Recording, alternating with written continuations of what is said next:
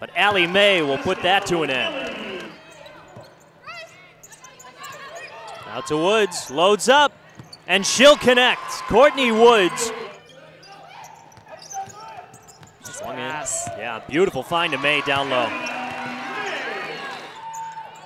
That ball has not touched anybody inside the paint yet. Finally, Courtney Woods attacking the rim. And I like that move. Reaching towards that final minute of the first half. Nice again, really looking inside for A'Jah Davis. She needs to get herself back on track and get her confidence going. Out to Woods. Drives in hard. And that is something that Courtney Woods does so well. Hand off to Hunter. Gonna move by Hunter. A beautiful drive and a lay-in for two. Koker driving in. Koker off the glass.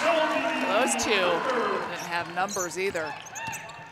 Koker loads up and rattles home. Now Artover again. Good hustle by Woods. They've got numbers, three on one. Woods will go for three, and it oh. cashes in.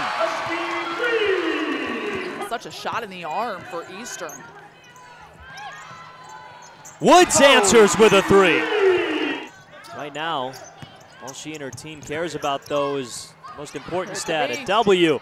But Oh! there's the new all-time three-point shooter in NIU history. It's Courtney Woods. And I think that she might have known it. She gave an extra hard clap on that one. And here's another three-point shot. Now she's got one more.